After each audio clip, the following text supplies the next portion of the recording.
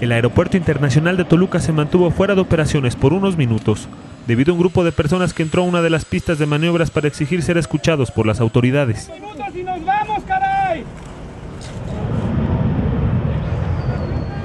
Horas antes, los inconformes bloquearon con autos y piedras por más de tres horas el Boulevard Miguel Alemán, cerca del Aeropuerto Internacional de Toluca.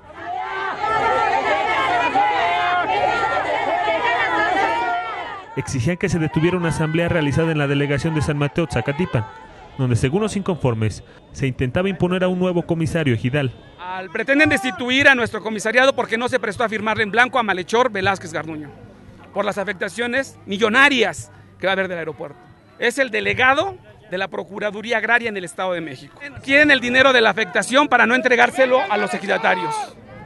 El bloqueo mantuvo afectada la circulación en ambos sentidos de este bulevar, una de las vialidades más transitadas del Valle de Toluca.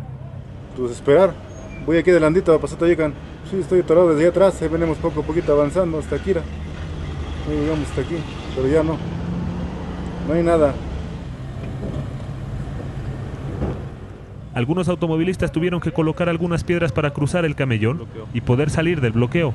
Ah, no, no, no, pues ahorita busco una alternativa. No, no, no puedo quedar aquí hasta que termine. No sé a qué horas va a ser. Los cortes de la circulación también causaron el retraso de algunos usuarios del aeropuerto, a quienes no les quedó más que caminar más de 3 kilómetros para intentar alcanzar sus vuelos. ¿Y no pudieron pasar? No. Es una lástima que la gente se queje así. ¿Y a dónde, a dónde viajan ustedes? A Los Cabos. ¿A qué hora sale su vuelo? ¿Van, van con tiempo? No, no, cero tiempo. ¿Ya van retrasados? Eh, tenía que documentar a las 11 y son 11.20 y me falta como una hora de camino.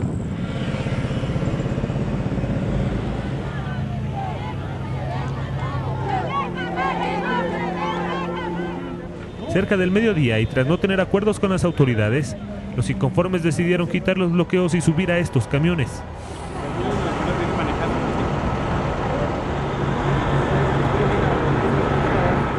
De ahí se trasladaron hacia la zona del aeropuerto, donde buscaron ser escuchados por las autoridades federales. Apoyen un poco. Siquiera párense aquí donde estoy yo. Vénganse. Pásenle, pásenle. Pásense. Pásense. Vengan, señoras, vengan.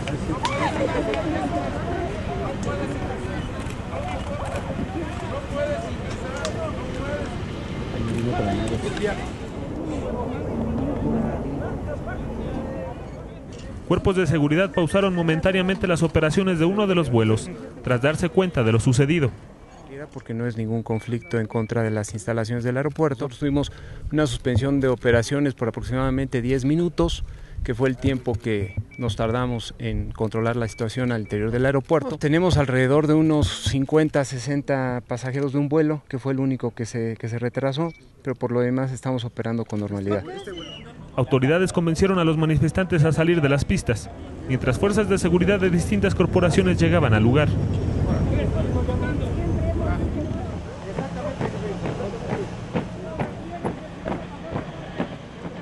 Le estamos diciendo a la gente de la, autoridad del aeropuerto, detengan la asamblea. ¿Qué mejor muestra? Nos metimos y nos salimos porque nos lo pidieron, nos obligan. Estamos desde las 8 de la mañana, pero no quiero decir que estamos desde las 8 de la mañana, estamos desde hace cuatro meses batallando con una ilegalidad. Esto no se vale. Requerimos que detengan esa asamblea apócrifa, esa asamblea fuera de la ley. Elementos de la Secretaría de Seguridad Ciudadana acordonaron la zona logrando asegurar a algunos de los presuntos responsables. Camínale pues. Y no estamos haciendo nada. Jorge, ¿es tu Están papá? violando nuestros derechos.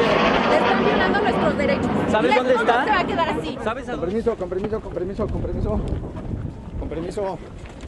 Deja de empujar, Con permiso, con permiso.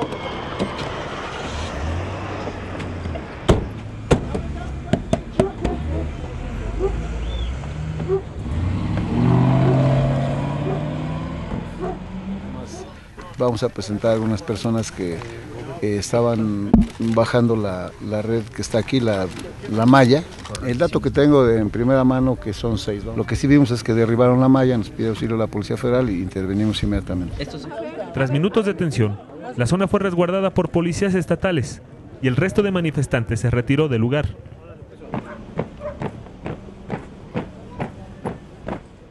la malla derribada comenzó a ser reparada, mientras que los detenidos fueron trasladados al Ministerio Público por introducirse a una instalación federal estratégica. Autoridades ya analizan la responsabilidad de más participantes en esta protesta.